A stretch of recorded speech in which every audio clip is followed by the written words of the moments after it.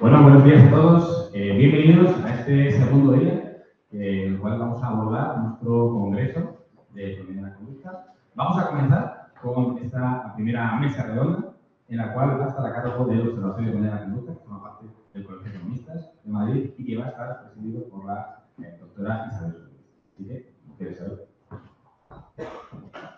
Buenos días a todos, bienvenidos un día más. Bien, hoy tenemos una mesa redonda, como nos acaban de decir, del Observatorio de Economía de la Conducta del Colegio de Economistas, que la hemos titulado Comprendiendo la economía a través de la conducta humana. Como lo primero que voy a hacer es presentar a los participantes y os voy a pedir que, aunque nos cuesta ir madrugando y vamos poquito a poco, que lo hagamos como una mesa redonda, que podéis participar cuando queráis, que hagamos esto un poco ameno y nos cortéis, nos pidáis la palabra para que aprendamos entre todos. ¿De acuerdo? Primero voy a presentaros, eh, bueno, he puesto un orden aquí, otro da igual, pues eh, tenemos con nosotros a la profesora Mercedes Quiere, a la izquierda de la mesa, que es directora de la Escuela de Negocios y Comportamiento de la Universidad de Evidencia, directora del Máster en Economía de la Conducta y del Máster de Personalidad y Negociación de la misma universidad, investigadora y experta en neuromarketing y actualmente está cursando el doctorado en Economía de la Conducta, área de empresas. Muchas gracias. Gracias. Días a todos. A mi derecha tenemos a la profesora Mercedes de Aro, que, tiene el máster oficial universitario en gestión de contratos y programas del sector público. Es licenciada en Ciencias del Trabajo, licenciada en Administración y Dirección de Empresas y diplomada en Ciencias Empresariales en la Universidad de Alcalá, donde además es profesora en el Departamento de Economía y Dirección de Empresas. Actualmente es doctoranda en Economía dentro del equipo de investigadores del Instituto de Análisis Económico y Social, con especial dedicación al desarrollo de economía conductual. Pertenece a la Junta Directiva de la Sociedad Española de Evaluación, es profesora del Máster de Behavioral Economics de la Fundación Behavioral Law de UDIMA y experta en Behavioral Design para la mejora de las políticas públicas enfocadas a los servicios a la ciudadanía.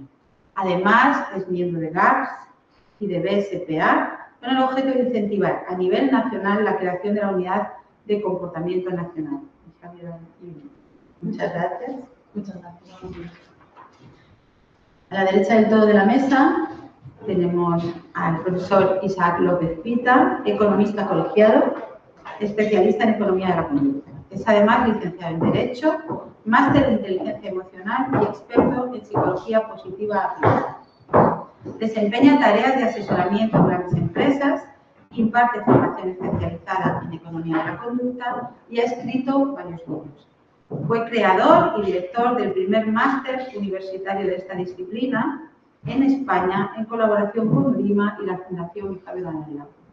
Participó además en el lanzamiento del Observatorio de Economía de la Conducta del Colegio de Economistas de Madrid y es socio fundador de la Sociedad Científica de Economía de la Conducta, entre otras muchas cosas. Muchas gracias. Y a mi izquierda tenemos al profesor Álvaro, ¿eh? tenemos a, Álvaro Gaviño González, ex director del Observatorio de Conducta, Álvaro además es un profesional multidisciplinar con amplia, con amplia experiencia en liderazgo de equipos y en gestión de proyectos de transformación. Durante los últimos seis años ha liderado la creación de la disciplina Economía Conductual en el BBVA, generando un impacto significativo en el desarrollo de negocio, la mejora de productos y la optimización de la experiencia del cliente. Además, ha desarrollado y lanzado la plataforma BELA, Behavioral Economic Learning Algorithm, una plataforma galardonada con el premio Quorus Accenture a la innovación en analítica avanzada e inteligencia artificial. Álvaro cuenta con una sólida formación con estudios en instituciones como la Universidad Europea, la Universidad de Toronto y es profesor del IE University participado como ponente en destacados foros internacionales sobre inteligencia artificial y economía de la conducta. Y sus trabajos han sido publicados y destacados en múltiples medios, lo que le consolida como un referente en su campo. ¿vale? Orgulloso profesor de Evidencia University. Yo soy profesor de Evidencia University. Así me gusta. Muy bien. Como veis, tenemos una mesa muy variada, donde abarcamos tanto el sector público como el sector privado y todos expertos en, en- en lo que venimos a trabajar hoy, que es la, a trabajar, a hablar con vosotros, que es estudiar o comprender la economía a través de la conducta humana. Bueno, yo soy Isabel Rodríguez. Como ayer ya me presentaron, pues me voy. ¿eh? Simplemente soy la vicedecana de estudiantes eh, de, de esta casa, de la Universidad de Juan Carlos. Y bueno, ya me presentaron ayer, me voy a aburriros otra vez. Perdón, de acuerdo. Bueno, pues vamos a empezar, si os parece bien. Y, por ejemplo, Mercedes, te preguntaría a ti, ¿cuáles son los retos que crees que tiene la propia economía de la conducta para poder seguir avanzando y aplicándose en otros ámbitos? Excelente pregunta, Isabel. bueno, como digo, buenos días y buenas tardes. No sé si alguien nos está viendo por ahí. eh, así, perdón. Bien, yo creo que la, bueno, ya conocemos que la economía de la conducta es una ciencia eh, muy, muy reciente. ¿Me bien, verdad? Que me acerque. Bien. ¿Así? Sí. Venga. Es que no, da- no más así cable aquí. Bueno, para un poquito más alto. Si no te quieres poner. No, no, está bien, está bien así. En cualquier caso, pues es difícil, como decían, mm, también para empezar un poco este, este debate de retos y oportunidades, ¿no? Es difícil pasar por alto pues, los logros conseguidos hasta ahora en, en esta reciente historia ¿no? que, que llevamos, ¿no? Y, pues, expandiendo de la conducta pues, por diversos sectores, diversas geografías y, y diversos campos. Hay muchos indicadores para, para medir esto y bueno, yo elegí uno de ellos, un estudio muy, muy interesante, que si queréis os doy más eh, referencias sobre él más adelante. Un, un indicador que, que está midiendo actualmente el número de behavioral teams, de, de equipos behavioral que hay en el mundo. Eh, bueno, la verdad es que eh, antes de, hablar un poco de números, también quería comentar que todo esto hay que verlo en términos un poco de, evolución. ¿no? En el año 2010, que más o menos fue cuando empezaron eh, cuando empezó esto a aflorar, la primera pregunta se había estudiado mucho antes, pero cuando, empezó de alguna manera a crearse estos equipos eh, de Behavioral Economics en el mundo, en general, pues eh, yo creo que había menos de una decena, menos de, de 10 equipos, y bueno, pues muy concentrados en determinadas eh, geografías. Voy a poner un mapa. Eh, este estudio yo, está centrado en, o, estos indicadores están centrados en lo que se conoce como behavioral teams, que son grupos de más de dos personas pertenecientes al sector privado. Aquí no estamos eh, incluyendo estas otras Natch units o unidades de, o otros conductuales como probablemente mi tocaya Mercedes eh, nos puede hablar porque es la experta en, ese campo. Aquí solamente se recogen los equipos de behavioral que implantan eh, los conocimientos de economía de la conducta en empresas que se denominan for profit. ¿no? For profit, pues, traducido de, ¿no? con ánimo, ánimo de lucro, o sea, empresas eh, eh, privadas. Bueno, pues la verdad es que no podíamos, eh, yo creo que, bueno, pues es un, eh, un mapa que a mí me resulta bastante interesante y positivo, ¿no? Porque al final, pues, eh, podemos ver cómo se está, digamos, diseminando la economía de conducta, pues, alrededor del- del mundo.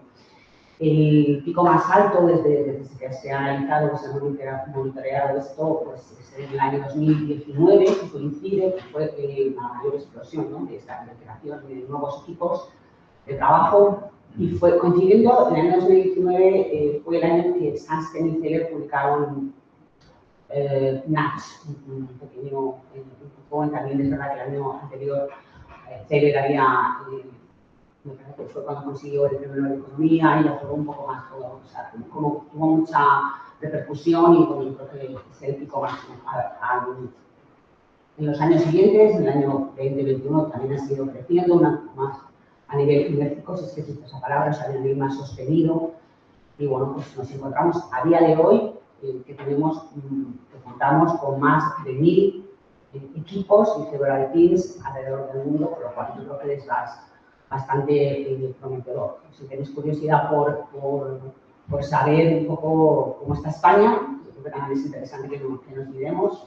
o Latinoamérica, como veis, eh, bueno, pues España tiene, eh, me parece que son 30 equipos actualmente, 30 unidades, no, no unidades, son equipos que pueden formar unidades específicas, departamentos específicos de Economics o también simplemente dos o tres personas que trabajan mm, sin tener un- una unidad específica de, de economía de la luego además también eh, está muy, muy diseminada geográficamente, no solamente lo ocupan como sí lo hacían hace 20 años, eh, principalmente estaban en Estados Unidos y en los países anglosajones, que fue cuando comenzó a crecer esta, esta disciplina, en Estados Unidos en UCA, también se colocó en países, eh, Países Bajos, sin embargo ahora pues casi todos los países occidentales cuentan con una- un equipo eh, que aplica eh, bueno, pues para, para sus, sus proyectos eh, conductuales, eh, pues para ir de sus clientes o, clientes internos o, externos. Y bueno, la verdad es que a mí me parece, no sé qué os parece a vosotros, pero a mí me parece muy interesante. De hecho, España, eh, quitando Reino Unido, es el país que más está por encima del resto de los países europeos. Creo que de esos pocos indicadores nos estamos por encima. ¿no? Pero pues, a mí me, parece curioso eh, mostrarlos. También un poco me, interesé por, por, este, por este análisis y estuve mirando qué más nos podían contar estos equipos, ¿no? con, su historia de, trabajo. Y hay dos temas que, que la verdad me, me llamaron la atención cuando nos preguntaban cuáles eran esas barreras o esos eh, retos que tenían a la hora de implementar sus proyectos. Hay dos que, que quería mencionar y que destacan por encima de todos los demás, porque salen en todas las eh, de la encuesta y uno tiene que ver, eh, ellos declaran que en realidad eh, les cuesta muchísimo eh, llevar a la práctica e implementar estos proyectos.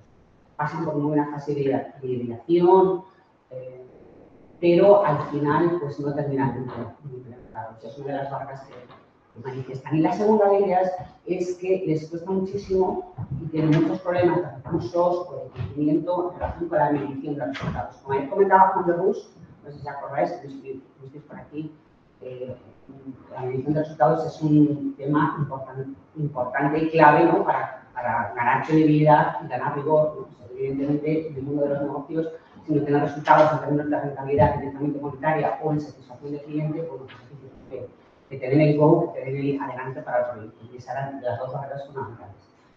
Y bueno, pues eh, lo cierto es que mmm, yo creo, digamos, un poco ya más opinión, ¿no? que desde luego esto, esto, de los retos y oportunidades que tiene la economía de es un libro blanco que podemos un poco ir escribiendo entre todos. Yo creo que estos dos temas, las dos barreras más importantes, creo que tienen que ver con una causa raíz, que yo creo que es el primer reto que tiene la economía de la conducta, y es que mmm, yo tengo la sensación de que falta, o, sea, o, o de que la economía de la conducta ya en este estado de juventud, madurez que, en la que se encuentra, tiene una responsabilidad importante y es la de profesionalizarse. Bueno, yo creo que eh, eso es un tema que yo lanzo aquí como, como un reto que creo que, es interesante. Quisiera hacer un disclaimer a todo esto que estoy contando y es que, bueno, pues lo cierto es que España eh, sí tiene un nivel de profesionalización interesante, ¿no? Tiene ya bastantes más años de experiencia que otras eh, países y regiones que estamos viendo aquí. Y bueno, ayer mismo, por ejemplo, pues Levantas y Woko nos demostraron que ellos sí hacen resultados, que ellos utilizan metodologías, que bueno, pues que tienen conocimientos de productividad. Pero bueno, pues yo estoy hablando un poco de la generalidad de todos estos, de todo el mundo, ¿no? Entonces, eh, También es verdad que en España existen organizaciones ya más, más relevantes eh, que tienen unidades propias de, de, economía de la conducta que evidentemente pues como ya nos comentará que Álvaro, pues ahí sí se vienen cosas, ¿no? Mm. porque esa, esas lagunas no, no, las tienen. Eh, uno de los eh, temas también que, que, de los que creo que, que preside este reto de la profesionalización es que declaran estos equipos, estos behavioral teams, en general declaran eh, cuando se les pregunta qué tipo de formación tienen o qué tipo de, de conocimiento tienen de behavioral science o behavioral economics, la mitad de ellos sí declaran que tienen un conocimiento profundo de metodologías, de fundamentos, de neurociencia, etc. Pero la otra mitad, eh, creo que eran un 80% de la otra mitad, hablan de que ellos tienen un conocimiento por haberse leído un libro o dos libros. Y bueno, pues la verdad es que sí, me parece un tema interesante sacarlo aquí porque bueno, es interesante ver si a Kahneman, a ver si celebra a todos los demás, pero evidentemente implementar un proyecto de, de economía conductual en una empresa es algo que requiere conocimientos más sólidos y más, eh, de más relevancia. Solamente dos de cada diez eh, equipos de Behavioral Economics que hay en el mundo utilizan sistemas de RCP o A-B testing, por ejemplo. Era otro dato que a mí me parece que, bueno, pues, eh, hablando de retos y hablando de oportunidades, yo esto de profesionalizarse, pues lo veo como, como uno de los eh, grandes retos que tiene ahora, una gran responsabilidad y una gran oportunidad que tiene la comunidad de la comunidad. Tengo también otro reto, pero bueno, yo creo que mejor ir, vamos avanzando y si surge, surge y si no, pues si os podéis, seguramente cada uno de vosotros tenga también mucho que decir esto. Muchas gracias. O sea, efectivamente a mí me has, me has ahí movido, ¿no? Porque me parece increíble que desde el 2019 hayamos crecido tantísimo eh, como equipo. Bueno, como aquí también tenemos un mini equipo, pues eh, formado por mi compañera en el misma, pues me parece increíble, pero pero me choca mucho estas barreras tan importantes de no tener recursos para medir los resultados, de que dos de cada diez no utilicen. Aunque se haya leído un par de libros, bueno, pero yo creo que tenemos a Álvaro aquí como ejemplo justo de, de superación de esos retos y que puede contarnos cómo aplica sus proyectos en este sector privado cómo aplica todo esto en sus proyectos, que, para que nos, nos, saque de esto, ¿no? Muy bien. Y se pueda enseñar a otros. por favor, Álvaro. Lo primero, muchas gracias por, por contar conmigo. Eh, y sí, estoy, estoy un poco de acuerdo. Eh, claro, 30 unidades comparativamente con otros países eh, está muy bien. A mí me sigue sorprendiendo que realmente es un poco son pocas, son pocas. Digamos que, no sé, solo en el IBEX, eh, si cuentas el IBEX más otras ya eh, comparativamente, eh, hay muchas empresas que se están dejando valor fuera, eh, que nos están aprovechando esta ciencia, esta disciplina, esta capacidad, como la queráis definir. Eh, y es verdad que BVA, bueno, pues en este caso apostó ya desde el 2016 por esta, esta disciplina, esta ciencia, y desde entonces no hemos parado de crecer. Esto no significa que no haya sido difícil y que no hayamos tenido un montón de barreras y un montón de obstáculos, eh, pues precisamente para aplicar la propia disciplina, para crecer, para ir y para convencer. Porque muchas de las cosas que hemos tenido que hacer desde 2016 en convencer del valor de la económica, la propia organización.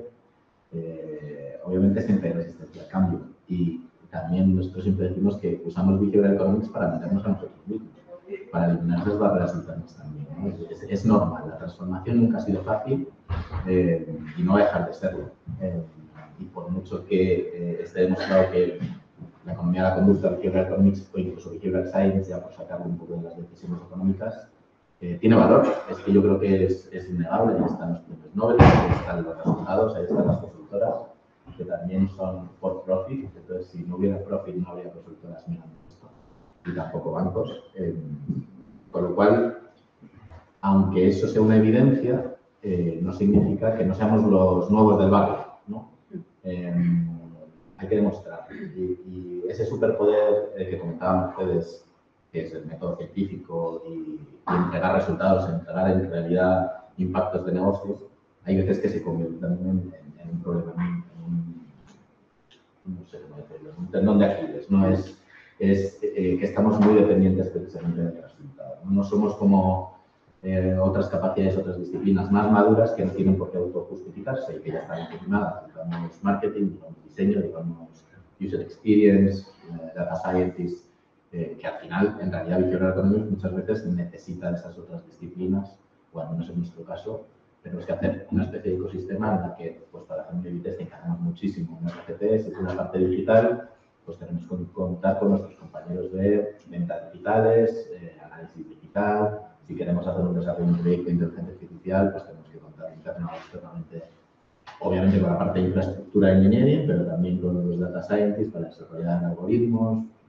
Bueno, os podéis imaginar.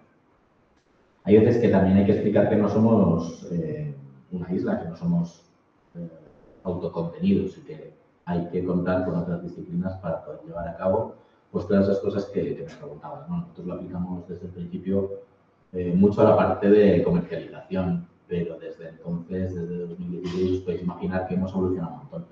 Eh, inicialmente empezamos con consultoría externa, en 2018 creo que éramos cuatro personas, actualmente a nivel mundial, entre internos y externos, o sea, entre plantilla del departamento y ayuda externa de consultoría, somos más de 100 empleados, más de 100 personas dedicadas a, bueno, que formamos parte del departamento y dedicadas 100% a, a Economics. Entonces, como os decía, pues hemos evolucionado mucho, desde la parte comercial más de última milla, a un marketing un poquito más profundo, precisamente eh, sobre todo en la parte digital, con segmentación conductual, el proyecto Vela que has nombrado antes, eh, pero hacemos muchas otras cosas. También hemos hecho proyectos con recursos humanos, con ciberseguridad.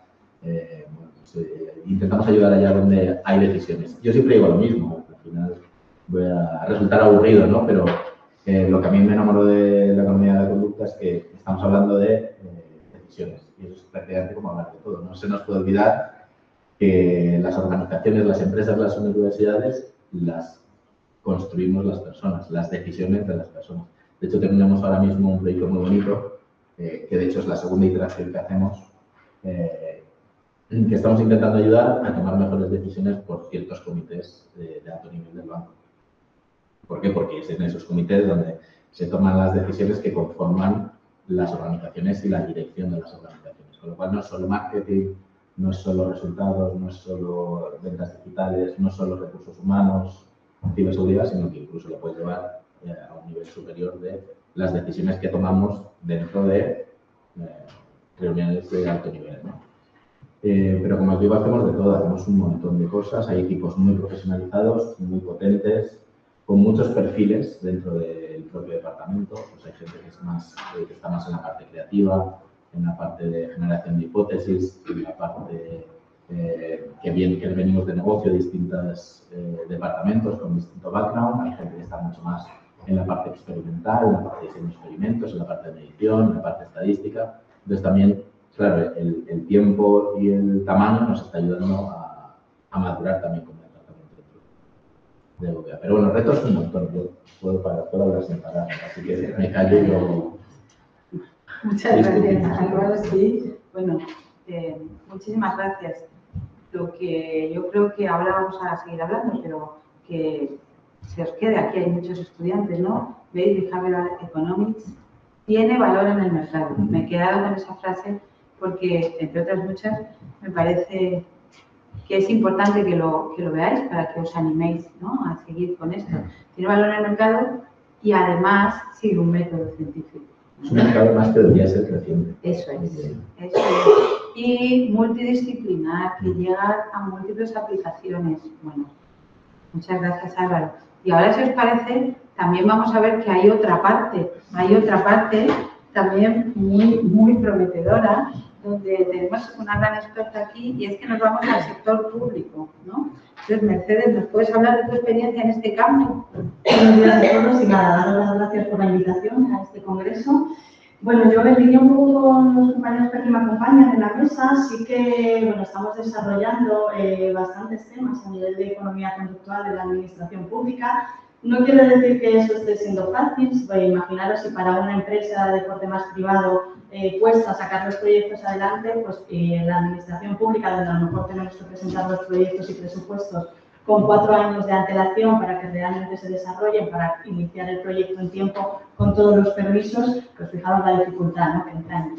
¿Cuáles son las problemáticas o los principales retos que nos estamos encontrando a la hora de desarrollar ese, esos proyectos de economía conductual? Eh, lo primero, lo que comentaban también un poco tanto Mercedes, eh, principalmente que decía el tema de la profesionalización. ¿Qué es lo que nos pasa cuando intentamos avanzar en la economía conductual a nivel de proyectos de administración pública?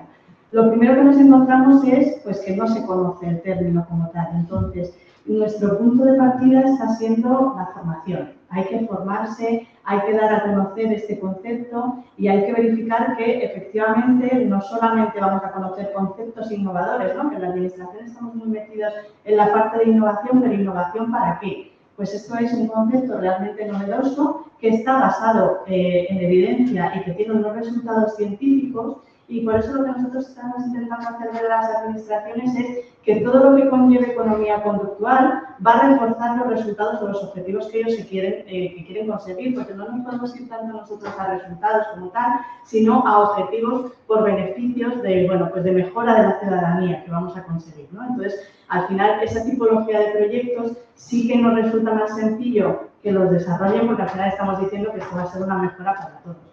¿En qué sectores? Esto es algo bueno que como ventaja sí que podemos trasladar, ¿no? No vamos a, ver todo barreras. Y es verdad que, como decíamos, eh, todo tiene un comportamiento humano cuando hablamos de ciudadanía. Desde los dos puntos de vista, porque yo no quiero, y es, es muy importante focalizar que otra de las barreras que nos encontramos es que siempre que avanzamos algo en políticas públicas, que no deja de ser, bueno, pues cuando nos encontramos cualquier problemática o cualquier eh, tema que hay que resolver para la ciudadanía, siempre nos enfocamos cómo va a actuar el ciudadano, ¿no? Entonces, lo que estamos intentando es invertir esa primera fase y los proyectos enfocarlos desde cómo va a actuar también el político público, o sea, el hacedor de políticas públicas o el político o la parte del equipo de gobierno, porque es muy importante que se involucren en el proyecto para realmente conseguir los resultados. Otro de, los, de las barreras, que esto también me gustaría ponerlo sobre la mesa, es que una vez que hemos establecido que el proyecto se lleva adelante, ¿cuál es la siguiente problemática que nos encontramos en la administración? cómo resolverlo a nivel eh, jurídico, ¿Qué, qué, marco jurídico nos ampara el uso de estos instrumentos. ¿no? Todos estamos determinando en muchas ocasiones en algunas de las lecturas que hacemos, ¿no? si puede haber una parte de, dirigir o autodirigir a la ciudadanía, que puede ser en un momento determinante algo que pueda interrumpir el proyecto, tenemos que tener muy claro siempre la libertad de elección de, lo que quiera decidir el ciudadano tenemos que tener varias eh, premisas sobre la mesa para que realmente el proyecto salga adelante. El problema es que no hay nada constituido como tal, no hay un código odontológico, no hay nada que nos guíe hacia cómo incluir este tipo de elementos en la parte más derecho administrativo, que también es algo que importa mucho al tema de la administración. ¿Qué es lo que nos deriva a que vamos por buen camino? Pues que ya incluso hay un dictamen de la Comisión Europea que nos determina, sobre todo a través de la herramienta NATS, que es un poco lo que más se ha estado utilizando en este momento como herramienta novedosa en la inclusión de las mejoras de las políticas públicas, que ya determina todas estas premisas y nos, nos realza ¿no? la importancia de tenemos que incluir este tipo de herramientas y lo tenemos que incluir de la mejor forma posible en el desarrollo de las políticas.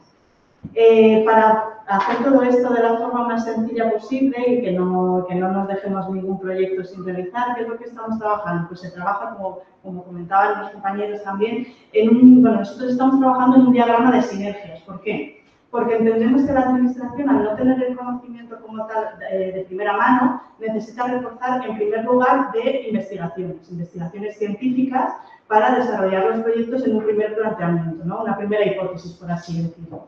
¿Qué es lo que hacemos? Pues nos vamos a eh, bueno, hay ya unidades de comportamiento eh, focalizadas en, las universidades, nos vamos a esas unidades, integramos o realizamos equipos multidisciplinares y a partir de ahí, pues lo que intentamos es realizar una primera hipótesis, extraer qué proyectos se han hecho en otras zonas, Latinoamérica, eh, Estados Unidos también se está realizando bastante, para traérnoslo eh, a, nivel nacional, ¿no? Y de esa forma verificar la importancia, efectivamente, verificar cómo se realizaría esa implementación y en una tercera fase, muy importante lo que estaban comentando, la evaluación. La evaluación la estamos reforzando mucho a través de, de la Sociedad de Evaluación de Políticas Públicas a nivel nacional, por eso también mi pertenencia a la misma para focalizar este tipo de evaluación en todas las políticas, pero desde un punto de vista de la economía conductual. Y eh, muy importante lo que os decía, esta sinergia que estamos creando entre universidades, administración pública y consecuentemente tenemos que ir también de la mano,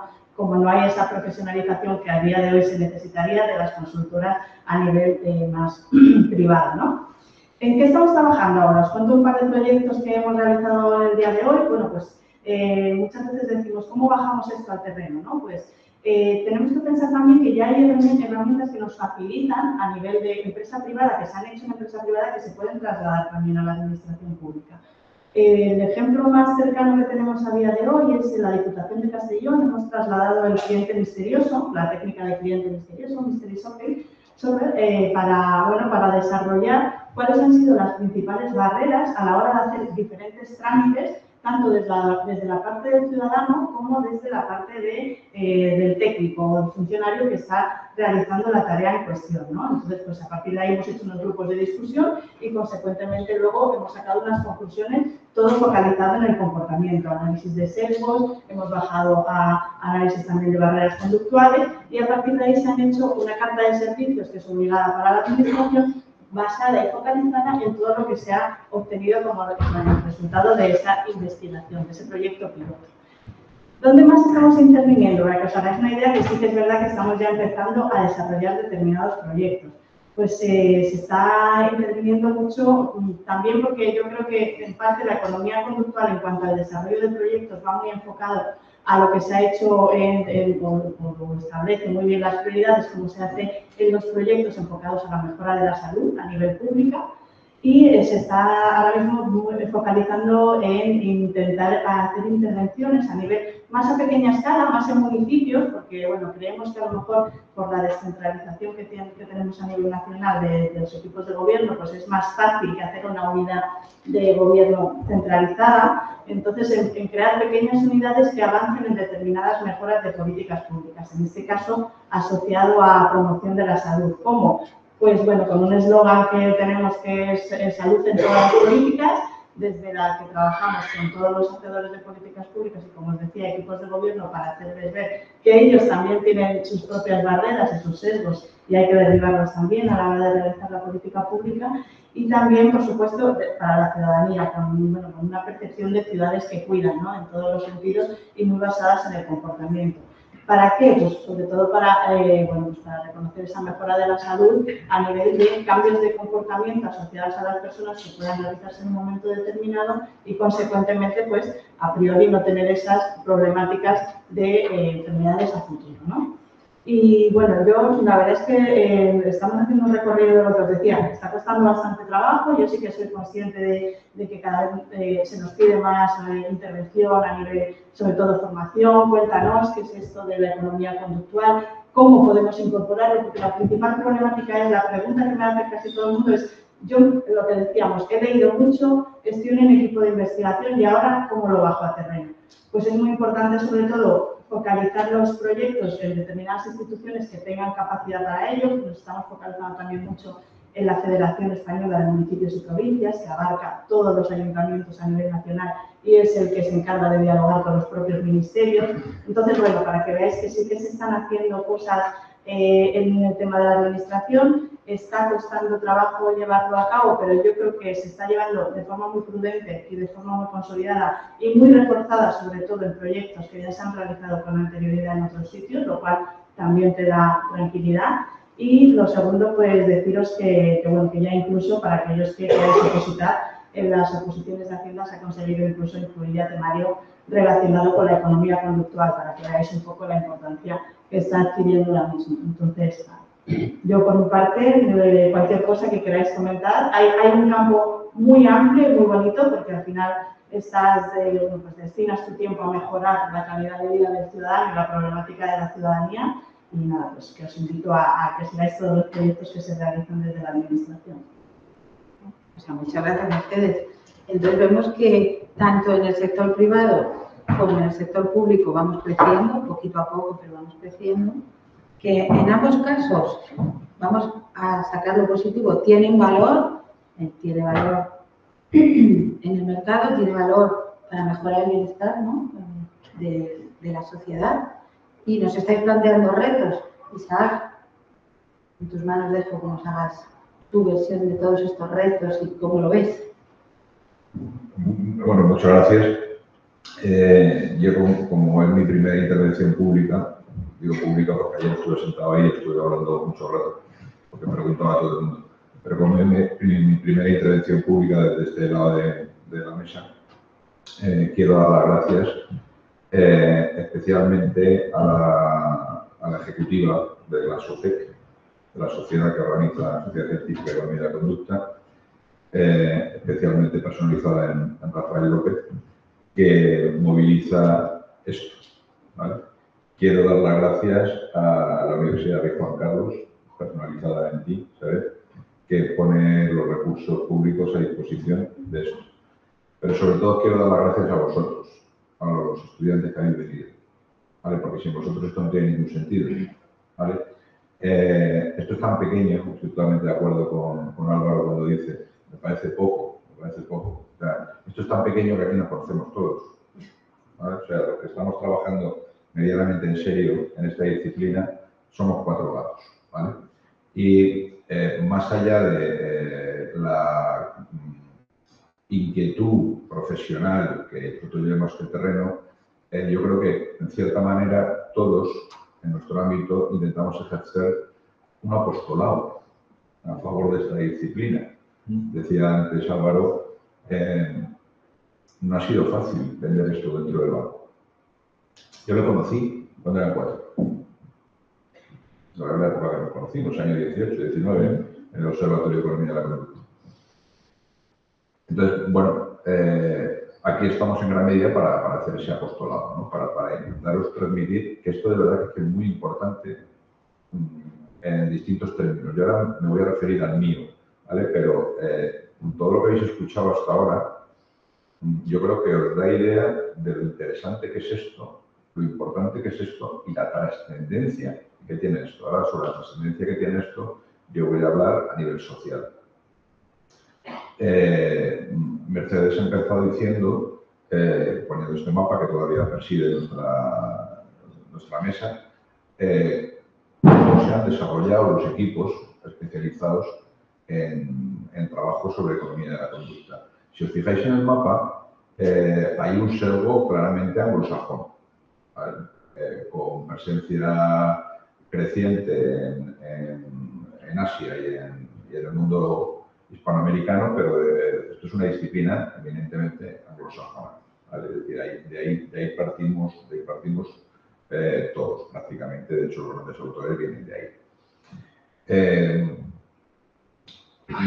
esto, ¿qué título tenía esta mesa?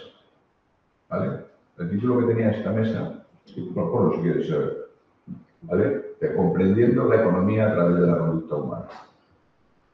Pues yo os quiero hablar, eh, aunque voy a hacer referencia a algunas cosas que han hecho mis compañeros en esta mesa, eh, yo os quiero hablar de lo que para mí es más importante eh, dentro del conjunto de aportaciones de esta disciplina.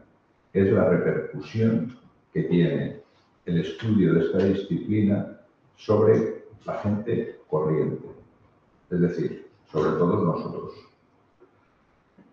Eh, dentro de la intervención de Álvaro ha habido una cosa que me parece extremadamente destacable y es el hecho de que su departamento está asesorando en la toma de decisiones. La principal aportación de la economía de la conducta en todos los niveles, estamos hablando desde la, de la ejecutiva de una de las empresas más importantes de este país, el Banco BBVA, hasta la gente corriente. ¿eh? Estamos hablando de que la toma de decisiones nos construye en nuestro día a día. Somos en función de lo que decidimos. Eso lo dice Mariano Sigman. ¿no? Eh, Mariano Sigman en, en, su libro la, vida secreta de la mente dice somos lo que decidimos. Pues yo creo que una de las grandes aportaciones que tiene la economía de la conducta es que, y esta aportación es universal para todas las personas, es que nos habla sobre cómo tomamos las decisiones. Y en concreto nos habla sobre cómo tomamos las decisiones económicas. Esa es la gran aportación que tiene la economía de la conducta. Nos dice cómo funcionamos en general, en general, pero también en particular cuando tomamos decisiones. Eh, hay varias cosas aquí que son para mí muy relevantes. Primero, eh, cuando hablamos de toma de decisiones y cuando hablamos de intervenir en la toma de decisiones a través del conocimiento de cómo funcionamos, tenemos dos esferas, una la pública y otra la privada. Mm, yo soy, voy a empezar por la privada, yo soy usuario del banco BBVA. Eh, os puedo decir, soy usuario de otros bancos también. Os puedo decir que la mejora que se percibe a nivel de usuario es notable. O sea, cuando tú ves que detrás porque nosotros vemos una pantalla. Es como ayer la gente de Woco nos hablaba de cómo ellos llevan al diseño los análisis conductuales. Claro, cuando yo me siento delante, entro en mi banco, ¿vale? En mis bancos, y uno de ellos es el BBVA. Entro, veo la pantalla, veo cómo se comunica conmigo, ¿eh? cómo interactúo yo con la pantalla, veo que detrás de eso, por deformación profesional, hay gente que piensa en términos conductuales. Y cuando entro en otro banco, que además tiene un gran departamento de innovación, pero no tiene departamento de economía de la conducta, cosa sorprendente. No, a pesar de tener un gran departamento de innovación, pues me encuentro que mi diálogo es mucho más difícil. Es decir, que me cuesta mucho más trabajo. Pero claro, al mismo tiempo, también siento inquietud. Yo, recuerdo que en la primera conversación que tuvimos Álvaro y yo en el Colegio de Economistas, no sé si lo recordarás tú, Álvaro, y dijeron, Álvaro, pues me alegro mucho que vengas, digo, pero que el BBV se meta en esto, a mí me inquieta. Claro, porque, claro, es el hecho de que las grandes empresas, o sea, em, empiecen a saber cómo tomamos decisiones los seres humanos, digo, lo utilizarán para bien o lo utilizarán solo en su propio interés. Esto nos abre un debate en lo privado, pero también nos abre un debate en lo público, porque Mercedes está hablando de hacer intervenciones desde la Administración para dirigir nuestra toma de decisiones. Entonces, mm, ¿hasta qué punto? O sea, ¿hasta qué punto nosotros tenemos el derecho, desde lo público, de dirigir las decisiones de los individuos de nuestra sociedad? Si alguno se queda y tiene la paciencia de escucharme luego, ¿eh? vamos a hablar en, eh, en, el rato que me toca a mí de conferencia eh, sobre cómo la inmensa mayoría que ha intervenido en los terrenos de toma de decisiones lo ha hecho guiado de su buena voluntad, es decir, pensando que esto era bueno para la sociedad y que era bueno para los individuos. Pero, ¿esto es bueno o no lo es? Pues en cada caso habrá que analizar. Entonces, eh, lo que os quiero decir a vosotros como estudiantes es que conocer cómo tomamos las decisiones es indiscutiblemente un privilegio. Yo os invito que tanto a título individual, en vuestro ámbito personal, como a título profesional, cuando desarrolléis vuestro trabajo, penséis siempre cómo tomamos las decisiones. Esto os va a aportar un plus de mejora enorme entonces, volviendo a las intervenciones de Álvaro, volviendo a las intervenciones de Mercedes, decía, digo porque están compartiendo como compañeros esta mesa, porque creo que son dos grandes referentes. Para mí, eh, honestamente, eh, aunque hay más grandes empresas del IBEX que tienen eh, departamentos de economía de la conducta, para mí el gran referente en empresa privada del gran departamento de economía de la conducta es el que dirige Álvaro, sin ningún tipo de discusión, y no lo digo aquí porque estamos juntos, porque creo que hace como tres años que no nos veíamos. ¿vale? Entonces, desde la esfera privada, creo que es un enorme referente de en qué medida se puede utilizar la economía de la conducta para mejorar las relaciones en el tránsito comercial, porque el tránsito comercial o las transacciones comerciales a día de hoy van a seguir siendo las que son. Entonces, Podemos intentar mejorarlas o no. Creo que la economía de la conducta sirve para mejorar. Y a nivel público, creo que como sociedad estamos obligados a exigir a la gente que ocupa puestos de responsabilidad política que intenten mejorar los sistemas de relación con todos los ciudadanos. Y creo que en la economía de la conducta pueden encontrar herramientas estupendas para estas mejoras ejemplo, la introducción que decía Mercedes del Mystery Shop en, Castellón parece una cosa de ciencia ficción. ¿Vale? Es decir, o sea, una cosa que está súper implementada en la inmensa mayoría de las empresas de distribución, a, nada que tengan cierta dimensión, ya emplean técnicas de Mystery Shopper. Bueno, pues contamos que en la administración pública española hay un sitio que es en Castellón, que es la Diputación, que está haciendo Mystery Shopper. Fijaros el el, como decía Mercedes, el campo de desarrollo tan grande que existe para aquellos de vosotros que os dediquéis a mm, dirigir vuestra profesión, vuestros esfuerzos en el ámbito de lo público. Se puede mejorar muchísimo la calidad del servicio utilizando técnicas de economía de la conducta. Eh, de pasada se ha dicho una cosa repetida veces. Hay que profesionalizarse. Es fundamental. Y para profesionalizarse hay que formarse. Hay que estudiar. Hay que estudiar. Hay que leer y hay que estudiar. Y hay que equivocarse. Eh, yo, mm, luego algo si quiere que conteste, que diga cuántas cosas que han hecho han salido mal. Porque este es el camino. O sea, aprendes cuando aciertas y aprendes cuando te equivocas. Y aprendes estudiando por qué has acertado y aprendes estudiando por qué te has equivocado. Este es el camino. ¿Vale? Y esta es. Eh, bueno, yo quiero romper una lanza. Eh, bueno, evidentemente estamos haciendo un homenaje a Kahneman desde el momento en que estamos hablando de toma de decisiones. Pero yo quiero romper una lanza a favor de alguien que es muy importante como sustrato en la economía de la conducta, que pasa desapercibido, que es el premio Nobel Vernon Smith. Vernon Smith hizo referencia a la importancia de la experimentación en el campo económico. En una época en que todo el mundo se dedicaba a teorizar desde los despachos sobre cómo funcionaban los modelos, Smith dijo, más o menos.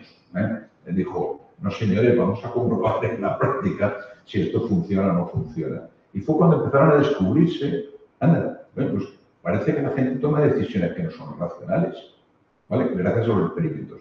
Esto es la formación, esto es la profesionalización. Es decir, estudiar, formarse, hacer cosas, experimentarlas y ver qué pasa.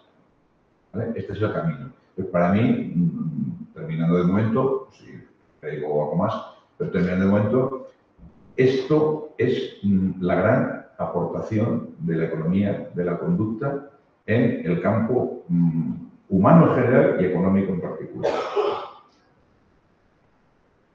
Muchas gracias. Bueno, pues pasamos un poco a, os he dicho que nos cortarais, que no es, pues por lo menos vamos a participar un poco ahora todos, ¿vale? Eh,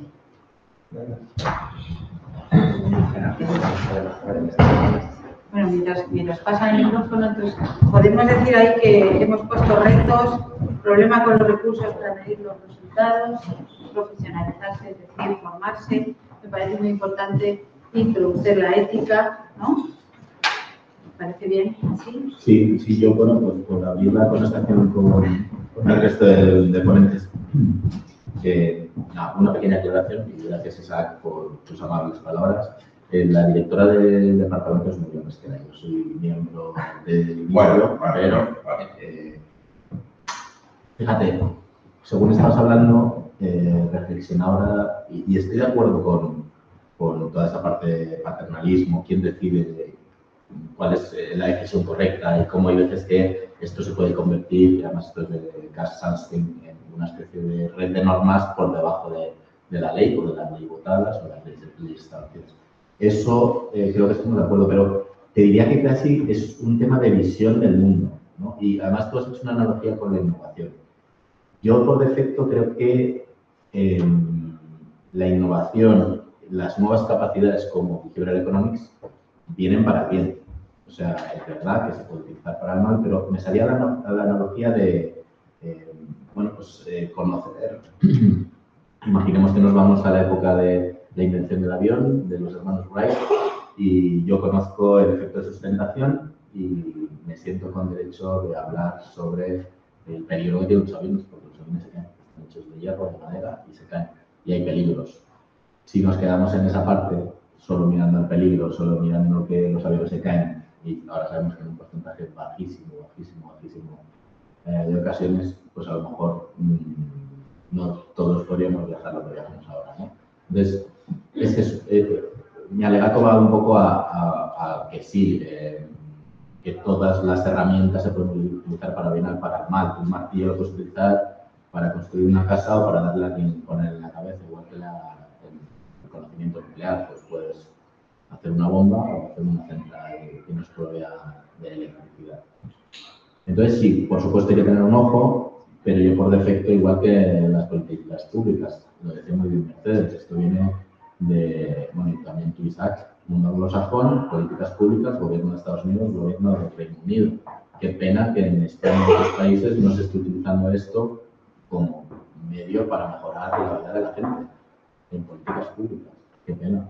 Eh, y yo por defecto pienso que aunque todo, cualquier innovación tiene aspectos negativos, o casi cualquier innovación, en el global es positivo y que la sociedad avanza gracias a la innovación, gracias a cosas como behavioral economics, inteligencia artificial, que también tiene eh, pues ese miedo ¿no? que tenemos todos, pero mi visión del mundo es positiva y creo que va a venir a aportar Yo, yo por, por, por, ya que ahora toca este tema, que digo, luego vamos a hablar un poco de este asunto. Pero ahí te das prisa, ¿eh? Sí, sí, por, por supuesto, eh, eh, subrayo lo que ha dicho Álvaro, eh, el conocimiento siempre viene para bien, ¿de acuerdo? Cuando yo hablo de que hacemos apostolado, es porque precisamente consideramos que esto es una cosa muy positiva.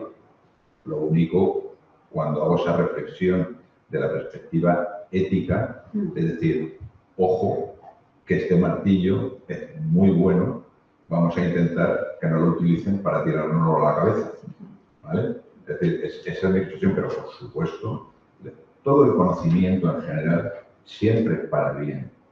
Creo que ya afortunadamente eh, hemos salido de la época de la Edad Media en la que eh, la, cultura y el saber se escondían en los conventos para que solo algunos tuviesen acceso a él.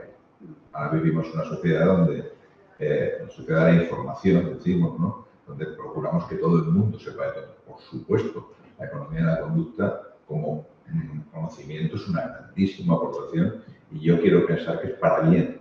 Lo que único que digo es que creo que tenemos una responsabilidad social de regular para que sea, para que sea siempre para bien. ¿no? O sea, que, Sí. Solo una, una, la última. ¿eh? La última, porque Es- tenemos el, ahí- el martillo, el martillo no es mágico. O sea, quiere decir que no es magia negra y que hay que claro, claro. eh, formar ingenieros, arquitectos, Eso es, eh, por eso los hacer planes, quiere decir que no, no es magia negra. Por supuesto. ¿no? Claro. Vamos a dar paso. Eh, no, simplemente una, una puntualización. Eh, tenéis el mundo, el mundo eh, profesional, está Álvaro ahí, está Mercedes con la administración pública, eh, pero yo creo que os habéis olvidado una parte del mundo y eso que la tenéis en la mesa, que es el caso de Isabel y es el mundo académico. Y daos cuenta que el problema fundamental que hay en esta, que, que comentáis de la profesionalización y en esta actuación, es la resistencia del mundo académico a cambiar. Es decir, eh, Isabel os puede contar su propia experiencia, no sé si Laura está y puede contar la experiencia autónoma, Ana está con- eh, Ana está también. eh, es decir, hay, y, y- y simplemente como anécdota, no sé si, bueno, si habéis leído eh, los libros de Richard Thaler, que me imagino que sí, eh, a Richard Thaler, Premio Nobel de Economía 2018, estuvieron a punto de echarle de la universidad sencillamente porque no cumplía los criterios de la que en esos momentos la universidad tenía establecidos, los criterios. Eso, claro, en el mundo anglosajón, y por eso es la ventaja del mundo anglosajón, hay una diferencia esencial. Es decir, en el mundo anglosajón la universidad se financia a través de la sociedad. Eso lo que hace sencillamente es que aquellos proyectos que son social y económicamente rentables salen hacia adelante. Aquellos proyectos que no son económicamente y socialmente rentables no salen hacia adelante. Eso es una gran diferencia, por ejemplo, de la Universidad Pública Española, ¿eh? do- que se financia absolutamente a partir de la administración y que en consecuencia puede permitirse el lujo de no tener ninguna relación con el mundo real. Entonces, una de las cosas que nos hemos encontrado los que nos dedicamos a la economía de la conducta, ya y te paso a Isabel para que, para que lo cuentes, es la resistencia que hay dentro del propio mundo académico. Porque, como también sencillamente una última cita, como decía Joan Robinson, que es una economista de, de mediados del siglo Que es una joya, eh, decía, uno aprende economía, después pasa a enseñar esa economía. Y en un momento determinado de su vida, descubre que lo que está enseñando no sirve para nada, pero es lo suficientemente viejo como para no querer cambiar. Bueno, eso es lo que está pasando en el mundo académico de la Universidad Pública Española con este tema en concreto. Porque claro, es muy duro admitir que te bajen del pedestal y dejar de ser un ingeniero económico. Dejar de ser ese personaje que va con la caja de herramientas a solucionarlo. Convertirte en una ciencia social nuevamente, que es algo que intentamos evitar en el siglo XIX, es, la verdad es que bastante duro. Pero bueno, pues, no, por lo menos, vamos a, mira, primero aprovecho justo, primero decir que él forma parte también de nuestro mundo académico. Bueno, aprovecho solo un momento porque, y retomo, pero aprovecho Isaac, me, amablemente me da las gracias y ha personalizado en mí como la Universidad de Juan Carlos, pero esto, Ana, está ahí mi compañera Ana Moreno, que las dos somos las que trabajamos aquí en Economía de la Conducta, no solo yo. ¿vale? Y efectivamente, eh, bueno, vamos a defendernos, chicos que estáis aquí, aunque es verdad que a veces estudiamos modelos que luego no podemos implementar en economía y por eso estamos avanzando en nuestro conocimiento, pero hay que seguir estudiando y no, nos catemos, la universidad pública es una defensa total. Y aquí, por ejemplo, no, ya, ya, ya. En la Universidad de Juan Carlos es verdad que hay mucha resistencia, en las universidades públicas hay resistencia al cambio como un sesgo que tenemos, ¿no? Como nuestro status quo en la universidad es mucho más grande, pero poquito a poco vamos dando pequeños cambios.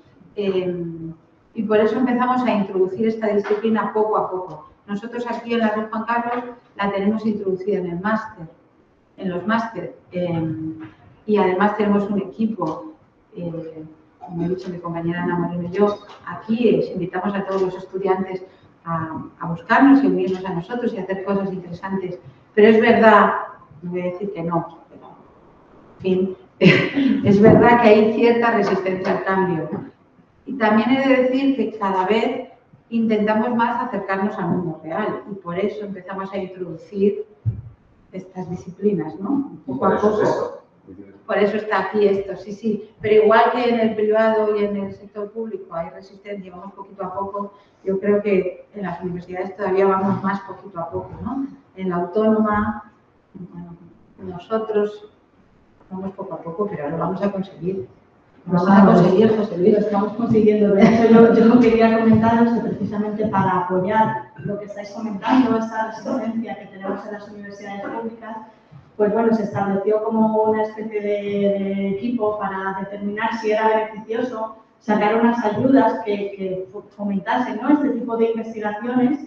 Y bueno, es la primera convocatoria ya ha salido adelante. Eh, bueno, ya el año que viene sacarán la segunda, pero que sepáis que hay unas subvenciones a cargo del Ministerio de Ciencia, Innovación y Universidades, justamente para que las universidades presenten proyectos de esta tipología.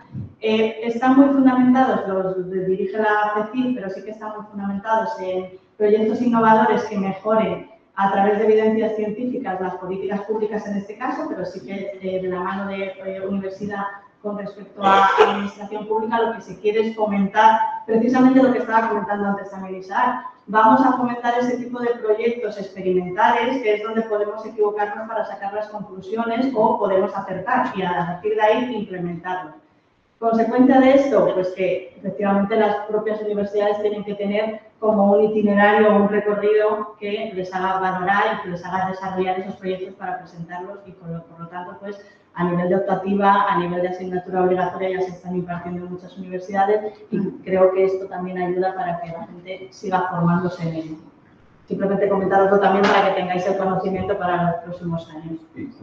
Postilla, eh, José Luis, eh, como soy el único consultor, o sea, el único que ejerce la profesión de manera independiente aquí, que, que yo, cuando introduzco eh, herramientas de economía de la conducta, en mis clientes no me atrevo ni a decirlo ¿Vale?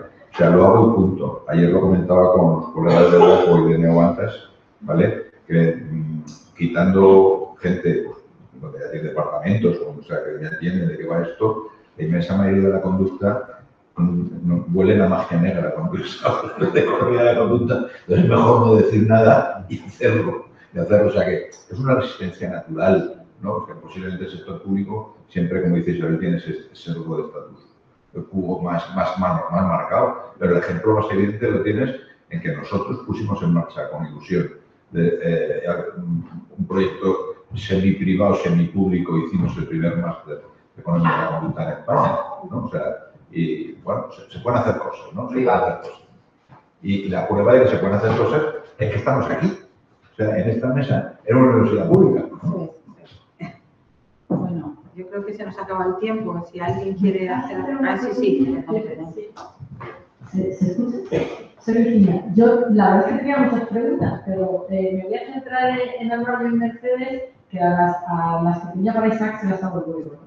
Eh, Álvaro, has hablado de, bueno, en Mercedes también habéis hablado de la importancia, o sea, de la dificultad para medir resultados. Y también has hablado de una cosa que me ha levantado una ceja, que es el tema de que ya estabais trabajando en segmentación conductual. Eh, ayer justamente teníamos en Aguantas hablando de, de, de, cómo había que ir hacia esa segmentación. Yo le preguntaba algo que, que me gustaría trasladarte que, y es eh, cómo hacéis esa segmentación y cómo, eh, qué tipo de marcas ponéis en el CRM, cómo las obtenéis, si son dinámicas, etc. Y, y para Mercedes, eh, quería preguntarte si conoces algún proyecto de aplicación de economía conductual a la administración online, porque eh, ahora que todo el tema de administración online se está, o sea, de, de, de gestiones con la administración se está llevando al mundo online, eh, ni yo me manejo muchas veces, ¿no? Eh, entonces, eh, me parece que es un campo muy interesante porque los ciudadanos se quejan mucho, ¿no? Eh, y en esto hay que darles la razón muchas veces de que las gestiones con la administración son difíciles, ¿no? O sea, gracias. Sí, estamos muy fuera de tiempo. Sí, estamos muy fuera de tiempo. Eh, Te rápidamente sí, y luego luego sí si queréis café. comentamos en el café o, o me contactas por LinkedIn o lo que sea. Eh, en cuanto a la segmentación conductual, eh, muchas veces, aparte de las marcas que tú comentas, que sí, que buscamos maneras creativas de traernos otro tipos de atributos que realmente sean de comportamiento del cliente, eso tampoco es eh, fácil ni evidente. En la mayoría de los casos se trata de interpretar conjuntos de datos que nos den pistas de cuáles son los movilizadores y las fricciones de nuestros clientes o cuál es el contexto en el que toman decisiones. Con lo cual, en el conjunto de datos que hay, hay veces que simplemente un tema de reinter- reinterpretación. Bueno, pues yo te contesto también bastante rápido. Precisamente el proyecto de la Diputación de Castellón del cliente misterioso se basaba en, ciudadanos que habían tenido problemas en hacer sus trámites de forma electrónica. Entonces, se hizo una batería de, de personas que habían tenido problemas y se les invitó a participar en el proceso de cliente misterioso para que ellos se formasen como clientes misteriosos y fueron ellos mismos los que intentaran resolver cuál había sido la problemática conjuntamente con, los técnicos y funcionarios que, que en aquel momento. No obstante, también se está llevando a cabo a nivel de despoblación, se está trabajando ahora en un proyecto para eh, mejorar el pago de tasas e impuestos. Entonces, eh, se está llevando, es cierto que hay que hacer muchísima tramitación electrónica, sobre todo, fijaros en las zonas despobladas, si tenemos nosotros esa problemática, el acercarte a lo mejor a un ayuntamiento que, bueno, que no tiene la posibilidad ni de horario ni de frecuencia, o a un ayuntamiento o cualquier servicio público, me refiero. Pero para que veáis que la importancia de lo electrónico o de facilitar la tramitación electrónica tiene que ser a día de hoy eh, un, un objetivo del funcionario público como tal y se, está formando también eh, a los propios eh, empleados. Yo creo que es que la problemática de la administración, entre comillas, con respecto a eso, es focalizar eh, muy bien que el empleado público tiene que ser partícipe de la mejora de- del uso de las nuevas tecnologías continuamente con la formación también o en paralelo con la formación también al ciudadano, pero yo creo que es una labor muy importante también como objetivo que el propio funcionariado, el propio técnico se involucre en esta, en esta participación, pero sí se están haciendo sobre todo lo que os digo, eh, con proyectos que ya se han realizado en otros países para la mejora de pagos de, de tasas e impuestos. Vale, bueno, pues muchísimas gracias a todos y bueno, continuamos en el café porque con estos cuatro expertos está claro que podríamos estar hablando todo el día. Muchas gracias.